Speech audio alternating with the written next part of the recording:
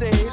Chilling out, maxing, relaxing, all cool and all shooting some sleep all outside of the school. When a couple of guys ended up to no good, started making trouble in my neighborhood. I got in one little fight and my mom got scared and said, You're moving with your auntie and uncle in Bel Air. I begged and pleaded with her. The had the day, but she packed my suitcase and sent me on my way. She gave me a kiss and then she gave me my ticket. I put my Walkman